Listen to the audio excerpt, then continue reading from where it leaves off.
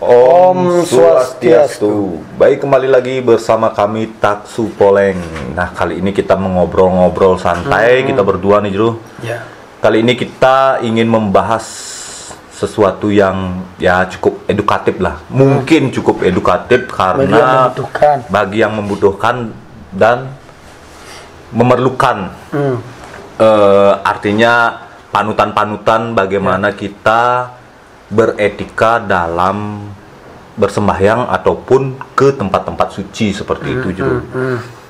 Nah, eh, ini sih eh, menjadi pembahasan kita kali ini. Mungkin ngobrol-ngobrol santai, eh, diskusi-diskusi bagaimana sih kalau dari sudut pandang Jeru Hmm. yang terbaik karena kan eh, Jeru sudah lama nih berkecimpung di dalam Hmm. ya agama lah kan dari kuliah seperti itu udah udah di agama aja nih beliau. Nah, kita ini ingin membahas tentang bagaimana sih kita berdoa atau sembahyang dalam melakukan kegiatan sehari-hari seperti itu Jul. dalam berkegiatan dulu.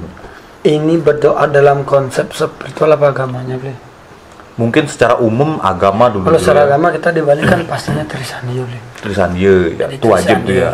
Wajib. Hmm. Nah, wajib. Kenapa kita bilang wajib? Karena kan dan juga kenapa juga trisandi dilakukan tiga kali sehari. Kalau biasanya trisandi itu kan ada peralih-peralihan. Satu Hmm. ada jam 6 pagi, jam 12 siang, Siang, jam 6 sore, sore. atau boleh jam 12 malam. Hmm. Ini sampai 4, jadi bisa dipilih, Ble. Ada salah satu yang dikorbankan boleh. mungkin, mungkin kita kerja pas jam 12 siang kita ambil berarti Hmm. sebelum berangkat kerja Mm-mm. pulang kerja jam 6 sama malam Mm-mm. jadi kenapa eh, hari-hari itu disepakati disepakati sebagai waktunya kita untuk heneng untuk diam dan melantungkan puja Trisandia satu karena hari-hari itu merupakan hari-hari yang keramat bagi kita agama Hindu di Bali Hmm. pada khususnya hal ini terdapat di dalam lontar kala tatwa beli di mana ada peralihan waktu nah Ya. di saat Dewa Siwa memberikan Dewa Siwa dan Dewi Uma memberikan petuah kepada anaknya Betara Kala, wahai anakku Betara Kala, anaknya dulu nanya, apa yang boleh aku makan?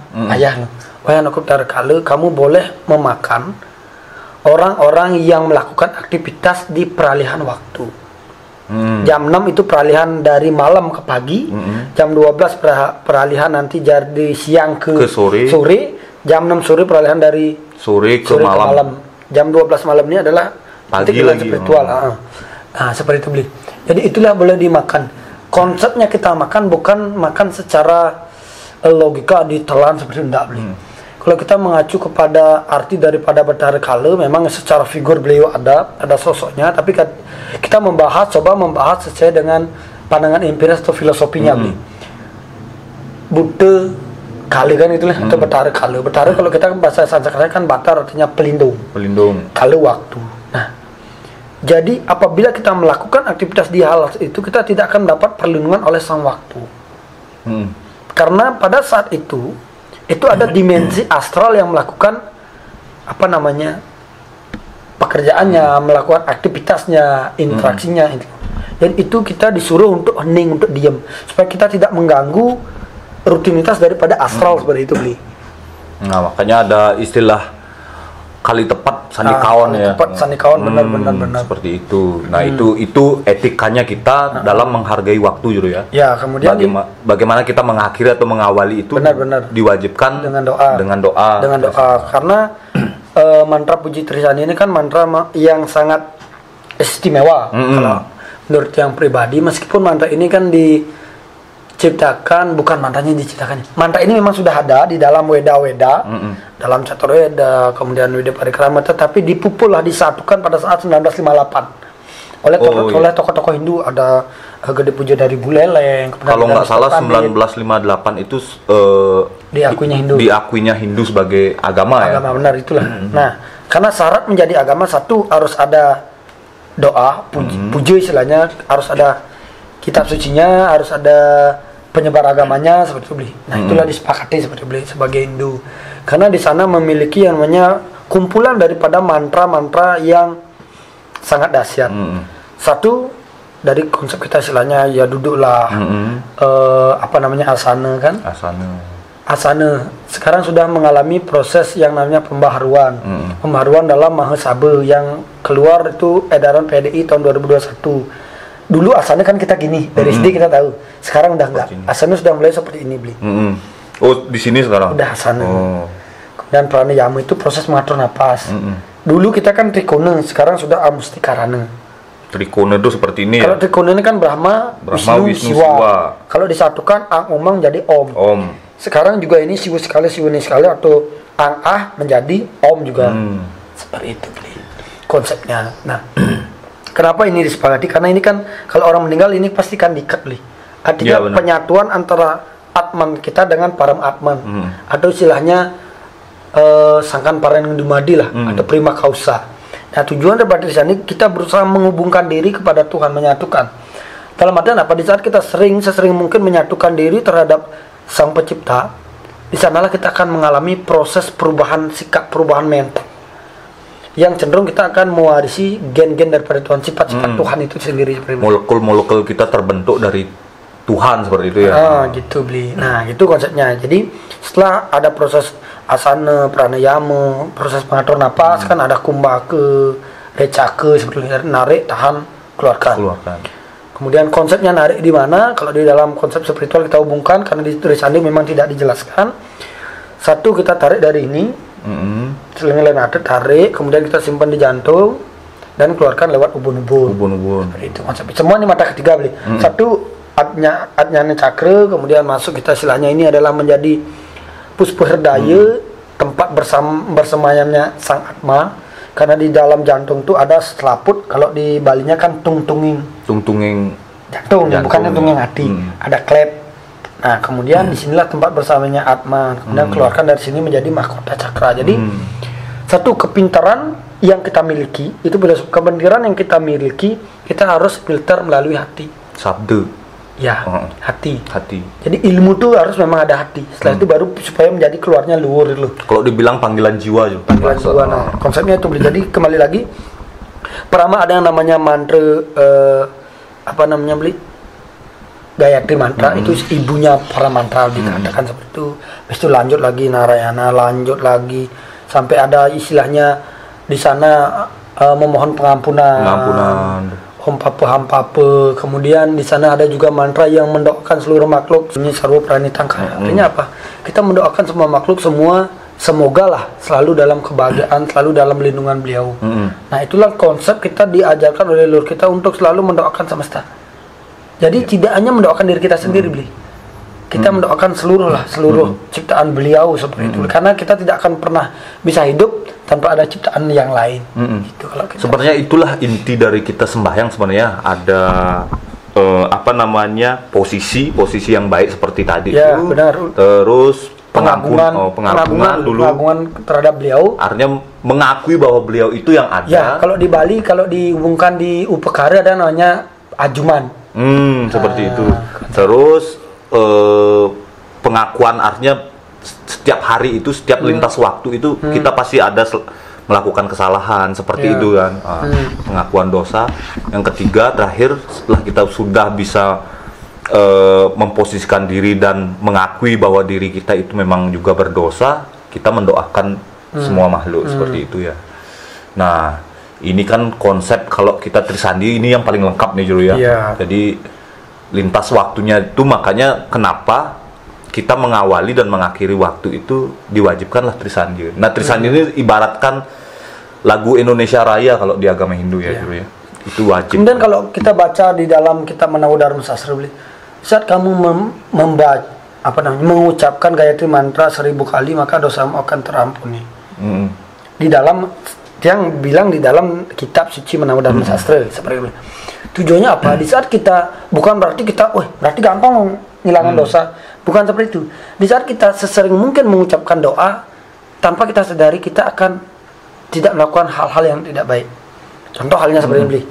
Nah, kita lah berdua nih. Habis sembahyang, numsi bunga kan masih ada seka- eh, apa namanya bunga. Wis, arti sembahyang jangan emosi. Hmm. Nah, di saat kita sering melakukan persembahyang, otomatis kita selalu diingatkan untuk menahan emosi sebenarnya seperti itu. Beli. Jadi Pak tidak disalaharkan, "Wih, saya berbuat dosa, dosa dulu lah." Karena di dalam undang dan sastra dikatakan apabila kita mampu mengucapkan seribu kali dosa akan hilang. Bukan seperti itu maksudnya. Sebenarnya di saat kita japa itu kita akan mengalami proses penurunan emosi, kesadaran jiwa sebenarnya tujuannya seperti itu. Sebenarnya juga kalau kita ber- eh, berbicara tentang psikis manusia, sampai kita menyebutkan seribu seribu kali gayatri mantra, seratus aja kita udah terngiang-ngiang sama seperti kita dengar lagu terus-terusan gitu dengar lagunya. Akhirnya lama-lama kita, kita tersugesti nih, Benar. nggak mikirin kadang kita terngiang-ngiang, wih kok nadanya itu aja terngiang-ngiang, nah seperti Sama itu. halnya berjapa itu beli. Karena apa namanya otak manusia sudah didesain, Hmm. apa pun yang dia didengarkan ulang-ulang kan malah merasa keblank. Ngeblank. Di saat ya. ngeblank itulah biasanya ada ada interaksi-interaksi. Nah, di sana itu kadang kita mulai merenung, artinya seperti itu kan. Artinya kayak ngeblank, bengong. Nah, kita baru baru tersadar seperti ya, itu. karena di saat kita memang benar-benar sadar, terkadang kita akan bergejolak dengan ego kita. Hmm. Sulit sadar loh. Sulit Di saat sadar. di, di titik ngeblank itu biasanya ada pencerahan. Makanya kenapa dibilang seribu kali mungkin di saat 500 itu kita akan mengalami gejolak seperti itu juga. Benar. Nah, jadi tidak semudah apa yang bisa Coba ya dikatakan. beli beli ngambil kalau dibalik kan ada jape tale beli. Hmm. Genitri lah. Ganitri. Nyari 108 tuh lama kali rasanya. Hmm. Tapi bener lah kita bener doa yang tarik napas bagaimana Dengan ageman yang benar gitu ya. Dengan ageman yang benar. Hmm. Apalagi seribu beli. Nah, itu kan kita berbicara tentang Trisandi nih. Ya. Ibunya dari dari mantra yang kita ucapkan sehari-hari gitu gitu ya. Hmm.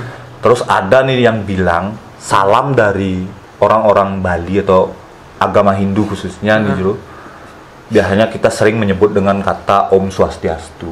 Nah, dibilang si Om Swastiastu ini adalah mendoakan siapa yang kita temui, entah itu eh, sekali atau niskala, entah itu orang yang eh, apa namanya benda yang bisa kita temui, bisa kita lihat atau tidak, itu ucapannya Om Swastiastu. Hmm. Nah, apakah benar nih? Biasanya kan kalau kita ngomong Om Swastiastu tuh biasanya di tempat-tempat yang suci seperti itu. Iya. Ini apakah dibenarkan nih untuk menyebutkan di tempat-tempat yang angker gitu misalnya Om Swastiastu, Om Swastiastu. Jadi gini. Sosial itu kan salam beli. Di sana ada Hmm. doa yang namanya su baik asti adalah dan astu semoga lah. Mm-mm. Jadi semoga baik. Makanya kalau kita bilang swastiastu harus ada omnya. Hmm. Karena om itu adalah kita yakini sebagai sandi daripada Tuhan. Mm-mm. Om saudaranya Tuhan, semogalah selalu baik dalam lindunganmu. Intinya seperti itu. Nah, di sinilah banyak ada suatu kesalahan penulisan sebelum Hmm. yang jawab itu beli. Bagaimana menulis Om Swastiastu ada su asti pakai T dan I, ada T Y, oh. dan pakai W. Hmm. Gitu. Iya, iya, iya. Kalau TY pasti W. Nah, yang ke- eh, sekarang jawab. Kalau kita mengacu kepada arti daripada mana, makna Om Swastiastu, penulisannya Om, Su, Su. Asti pakai T dan I, Astu. Tidak ada TW. Nah, lalu kenapa ada TY dan W? Ini apabila kita menulis di dalam aksara Bali. Hmm. Satu aksara Bali tidak tidak ada tulisan T dan I. T dan I diganti namanya Nani. Hmm. Nani itu diganti TY. Kemudian UA diganti dengan UA. Hmm. Makanya Om Swasti Astu. Swastiastu. Tu dan itu translate dari dari pernyataan lisan sih karena kita yang menyebutkan tuh suasti pakai w jadinya kan. Karena artinya ya Oh. su asti astu itu loh. Oh. Karena ditulis di dalam aksara Bali, tulisan yang benar di dalam pasang pakai aksara su Wasti. wasti. Suwas itu loh, Hmm, bukan suas, suasti. oh. Suwas tias tu. Gitu aksara yang pakai Bali. Yang benar kan su asti astu. kalau tulisan Latin. Hmm. Nah, kalau aksara Bali itu. Karena dari dari kata aja kalau kita menyebutkan putra yang baik aja eh, suputra kan seperti itu. Ya, nah kemudian tuh ny- nyamuk. Itu memang benar beli. Di mana pun kita berada, entah di tempat suci, tempat angker, karena kita yakini di mana pun ada tempat, entah tempat suci, entah tempat angker, pasti ada positif dan negatif. Hmm. Di tempat suci apa pun pasti ada energi kita berbicara energi nggak baik. Inilah tujuannya kenapa leluhur kita ada yang namanya mecaru dulu. Mm-mm. Kalau kalau mantra daripada mangku ada yang namanya nundong bute Mm-mm. atau ngundur bute baru nadunang mendak ide betari. Supaya apa? Ini tidak menjadi yang namanya gangguan. Nah, inilah di spiritual kita hubungkan sebelum kita sembahyang seyogianya kita menutup energi-energi negatif. Hmm. baru kita menurunkan beliau. Karena kenapa? Energi negatif ini paling suka berkamuflase. Hmm. Banyak orang laku mendapatkan WC itu bukan dari beliau, Nah, dari bangsa yang bawah. Bawah. Nah ini akan membuat terkadang "Ih, dia rajin kali sembahyang kok perilakunya seperti itu. Hmm, Kadang aneh itu ini. akan dibenarkan oleh yang memberikan dia WC, yang itu bukan beliau. Hmm. Nah inilah tujuannya kenapa ada yang namanya upekari kalau kita berbicara Hindu, kalau spiritual umum ya seyogianya kita tutup dulu. Kalau kita nggak nggak punya mantra, kalau dibalik kan ada yang namanya mantra penyangkar bute, pengerak bute, pengempet bute. Hmm. Artinya apa? Supaya negatif itu nggak ada. Hmm. Kalau kita berbicara masalah spiritual, mantra itu kan nomor dua beli. Hmm. Seperti itu kan. Karena mantra itu kan mens artinya ada ada dobrakan energi. Yang pertama adalah kita ada yang namanya afirmasi, ada ada doa doa Tuhan hari ini saya mau menurunkan manifestasimu, saya mau menurunkan energimu. Seandainya di sini ada energi-energi yang tidak baik yang nantinya mengganggu saya, mendekatkan diri padamu, mohon dihilangkan. hmm. Habis itu baru masuk. baru masuk. Gitu, Artinya secara afirmasi dulu ya. Nah, nah, kemudian kenapa kita sekali lagi masuk di tempat angker kita sering yang namanya Hmm. penelusuran Om Swastiastu tujuannya apa? Kita mendoakan. Tuhan semoga lah yang ada tempat ini mengalami Hmm. suatu kebaikan lah. Seperti itu. Entah dia baik, entah dia Dia buruk. tidak baik, tetap Hmm. kita adalah mendoakan. Karena sifatnya Om Swastiastu itu adalah doa yang universal ya. Universal. Hmm. Universal. Beli. Nah, kemudian kenapa kita di saat di pintu masuk kita mengucapkan Om Swastiastu? Karena diyakini di dalam konsep namanya kita spiritual dan juga agama Hindu, peralihan tempat itu adalah memiliki energi yang paling besar. Contoh dari jalan mencari rumah kita ada pintu gerbang. Mm-mm. Itu peralihan sangat besar, makanya ada tabeng aling-aling dan sebagainya.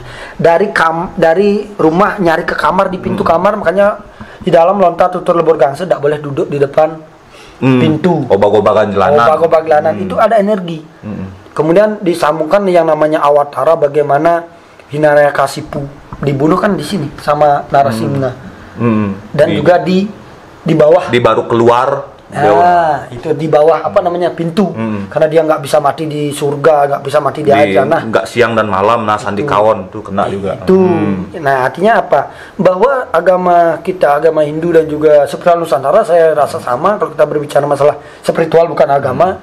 Di tempat-tempat peralihan inilah banyak ada interitas energi, ada banyak istilahnya perpaduan energi. Yang Hmm. perlu istilahnya kita kulunungun permisi. permisi Gitu. Apa salahnya kita permisi sih?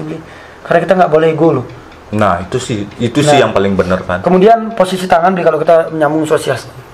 posisi Banyak tangan kan yang pa- sosiastu. paling em, membuat Sosiastu. membuat kadang canggung nih Jul kadang baru kita melihat orang mungkin yang yang terlalu gini kita agak naik Hmm. makin makin posisi orangnya yang makin kita segani makin lagi naik nah apa Apalagi kalau banyak punya uang, Hmm, bisa jadi. Sampai, un- sampai nunduk sekali. ngeliat isi kantong Om Swastiastu Jadi nggak saya seperti ini beli. Kalau kita berbicara, kalau sesama hmm. ini pengorbanan pada sesama nih, Oh. saya salah membeli sosiastu. Swastiastu Kalau kita di tempat yang namanya eh puril Hmm. dan lain sebagainya, saya pasti sosiastu. Dia di depan Di muka atas, ya, kalau butuh kita berbicara alam asal banyak sih di sini beli. Hmm. Ah. makanya ada istilah seperti ini nih tangannya Hmm. oh. Sebenarnya tadi kita di Bali dulu kan baru masuk pura pasti ada sungkem namanya. Mm-mm. Hormat sesuatu nyium eh, ibu pertiwi nyium tanah. Sekarang kan nggak mungkin. Hmm. Kenapa yang bilang nggak mungkin kalau kita masuk ke pura apalagi odalan kan rame beli. Hmm. Siasati aja kalau yang biasanya masuk sosiastu yang pasti ngambil tanah. ambil tanah Ah, secara langsung kita sungkem di ibu pertiwi loh. Karena kita nggak mungkin di tangga gini nanti dilihat dari belakang. karena ini pintu kita ya seperti Ya, tadi di ah, Cisandi kan ini. Makanya kita sembahyang kan harusnya di sini. Hmm. Ini supaya ini terkoneksi. Ada yang namanya eh apa namanya? Ying dan ing, Oh, oh. yang dan ing, kemudian siwu sekali, siwu ini sekali kita satukan lewat ini. Artinya Hmm. ini supaya kita mampu berpikir yang jernih. Gitu. Nah.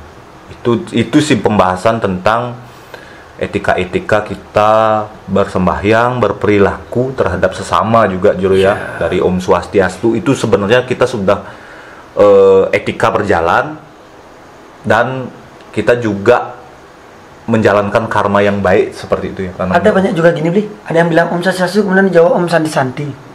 Nah, itu orang mengira ah bercanda nih Hmm. Di dalam lontar kita berbicara sila krama itu namanya sila krama adalah aturan di saat kita apa namanya menjadi brahmacari dalam artian kita berguru lah. Mm-mm.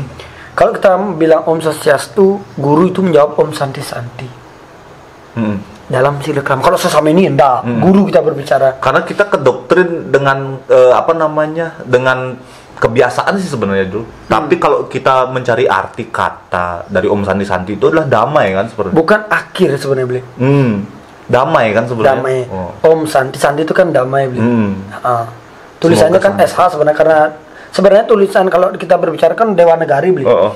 Sanskerta S A biasa, tapi karena di sana dirge, dirge Hmm. itu adanya di atasnya tuh ada coret. Mm-mm.